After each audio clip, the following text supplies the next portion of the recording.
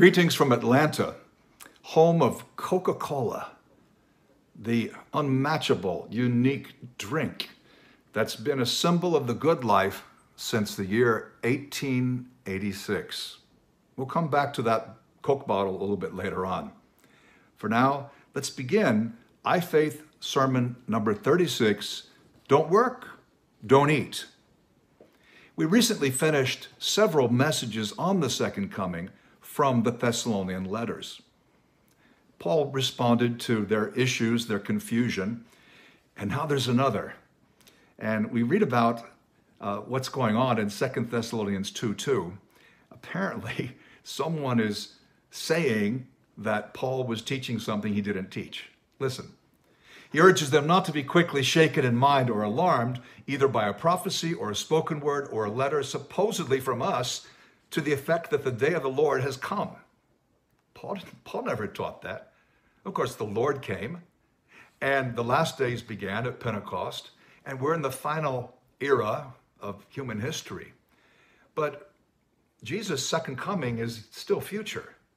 But there's a group here in Thessalonica who are confused. And Paul says that they're idle, as we're going to see the confusion has a certain consequence. So often, wrong ideas have an impact on us. Uh, it's not just an intellectual point.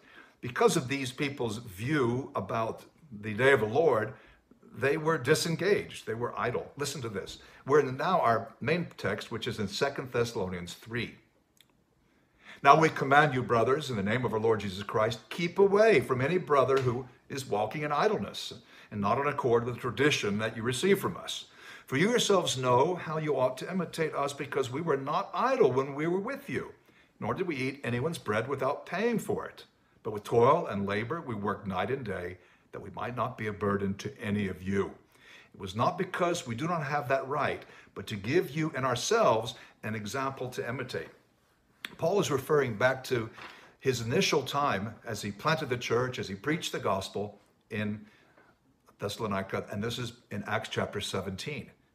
Now, his example then, uh, uh, planting the church, working hard, insisting on paying people for their help rather than insisting on being paid, it's so different in spirit to the attitude of these confused people who are saying the day of the Lord's already come. They're idle. So they are idle. They're not working hard. And when, you know, they say idle hands, devil's workshop, we do need to be busy. Not busybodies, but we should be busy. And Paul warns the church. When people are idle, it's hard to get them going again.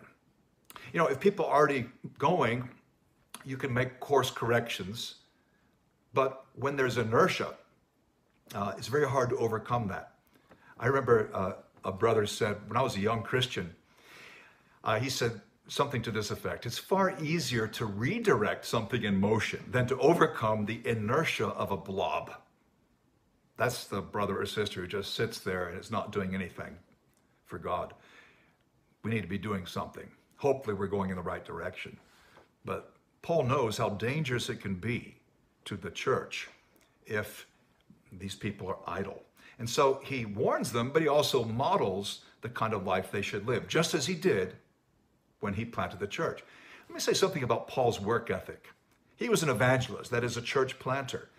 Um, in 2 Corinthians 11, verse 7, we read that some people criticized Paul because he didn't take a regular salary. He had the right to it, and he insists on that. He says those who work for the church should be supported by the church. First, 1 Timothy 5, 17, 18. It's okay for the elders to be paid. He had the right, but he did not insist on it. Now, you may know preachers who are paid by the church completely or partly, or maybe not at all. Um, if we read the book of Acts honestly and look at the letters, look at the epistles, I think you'll see that um, the career preacher, that description is a little hard to find in the New Testament. And so, why did Paul teach and live this model? That's what we're going to be looking at. Uh, it's a model that would be roundly rejected in most denominations today. But see, Paul didn't want to take advantage of anybody. So unlike the prosperity preachers who want to be rich and they dare to say, Give to my ministry and God will make you rich. Paul didn't take advantage of people. Now, he insists on that back in 1 Thessalonians 2, comparing himself to a mother, to a father. He would no more take advantage of the Thessalonians than a, a mother or father would take advantage of a child. We're not looking for benefit. We're not looking for them to give us something. We just want to give to them. And that's the nature of love. That's the, the nature of the right kind of pastoral ministry. By insisting on working and paying his own way, so to speak, Paul undermines his critics, those who would say, well, whatever they want to say, that he's taking advantage of the people, because he's clearly not. Now, the false teachers demanded payment, but Paul didn't. And the most you see in the New Testament is sometimes he's supported partly, fully, or not at all. Sometimes he has to be supported by a different church, or he just has to go into his regular business. And he had a, a skill, he had a business, and he supported himself. It's not that it would be wrong to take support from others. Jesus took support from others, Luke 8, verse 3. As I said, Paul argued that the elders have a right to payment and don't muzzle the ox when it's treading out the grain. But Paul really doesn't want to use that right. He feels he has more influence, more leverage when he's beyond any uh, criticism of financial mismanagement or exploitation. Read 1 Corinthians 9 for more. And I always wondered what it would do to our churches if our leaders were not paid, or at least if the expensive denominational model were, were uh, scaled back, and, and then people's jobs didn't depend so much on pleasing the audience with what they say. Easy for me to see. I mean, I was on staff for 20 years, raising my own support for two years, 18 years paid. But I do think they have to be careful because money in, in faith matters as well as in politics and really any realm uh, can easily hinder genuine reform. Money can warp motives. This isn't the point of the message, but I want us to think about Paul's work ethic and why in, in various letters, he points out that he preferred not to owe anyone anything. He was a gracious recipient, but he was also very gracious in supporting himself. Let's continue. We're back in Second Thessalonians 3, and now we're up to verse 10. For even when we were with you, pointing back to Acts 17, right, the planting of the church, even when we were with you, we would give you this command if anyone is not willing to work, let him not eat. For we hear that some among you walk in idleness, not busy at work, but busybodies. Now, such persons we command and encourage in the Lord Jesus Christ to do their work quietly and to earn their own living. Well, in modern Western society, don't work, don't eat may sound very un- uncompassionate. Well, shouldn't we feed people even if they don't work? Are we saying there should be no benefits, no welfare? That's not what I'm saying. And Paul was not creating an absolute law. In fact, in the very next letter in the New Testament, 1 Thessalonians, uh, 1 Timothy 5, we read what? About support for widows.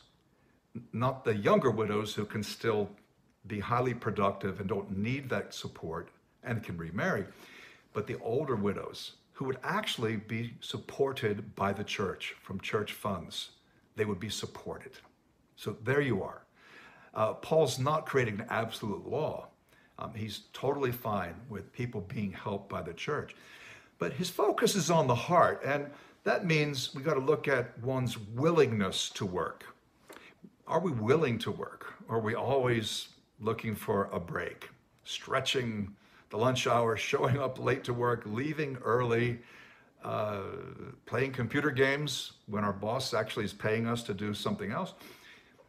That's that willingness to work. And it shows in little things and in one's general attitude. With Paul, there's no sense of entitlement.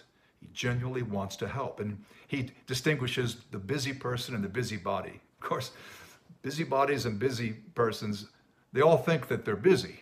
They all think they've got a lot to do. But if we're looking at the productivity, we're looking at the impact, we can see that one is self deceived. Those who did not want to work still managed to do things, to get around. They filled their daylight hours with something, but it was not pleasing to the Lord. In another letter, Paul talks about busybodies who go from house to house. So they're very social. uh, gossiping, and I guess they might call it fellowship. But what's the impact? Oh, so let's talk about that bottle. Growing up, I heard lots of jingles, lots of tunes, songs, uh, even very short advertisements about Coca Cola. Uh, that was on television. But Coke has been advertised since the 1800s, eh, since 1886. If you're older, you may remember these. I'd like to teach the world to sing. That's the most popular jingle. It's the real thing. Coke is it. Coke and a smile. Now we could say more. But is this really the real thing? People want the good life. Paul warns us that those who are idle, he warns that they're actually dead. In 1 Timothy 5 6, he says, The widow who lives for pleasure is dead even while she lives. It's not just a widow, it's anybody. We live for pleasure, we're dead, even while we're alive. We're not really alive, and we're not pleasing God. Is this the real thing? There is a real thing. It's a living water that Jesus Christ offers. And we need to be careful because we're supposed to live for Him. And it's so easy to rationalize wasting time, unemployment, underemployment, various forms of being busy, but really being busybodies. And we can find spiritual reasons for that. And I'm not saying, please don't mishear me. I'm not saying that if you're currently unemployed, that you're, you're evil and you're in trouble.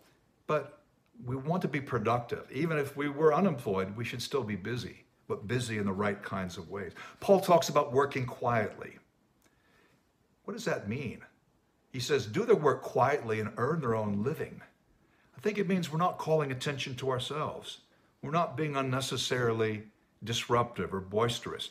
We're good citizens, we're good family members and workers. And as much as possible, we don't want to be dependent on others. We are meant to carry our weight. Paul's final thoughts on this follow.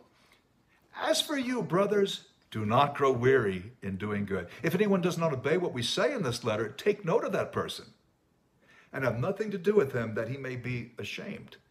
Do not regard him as an enemy, but warn him as a brother.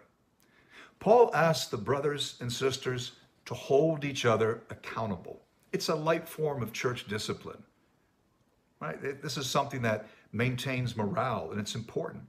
Now, he's he never says that the idle are non Christians. He doesn't say if you're lazy or you're disengaged that your salvation is on the line and you're, or you're lost now.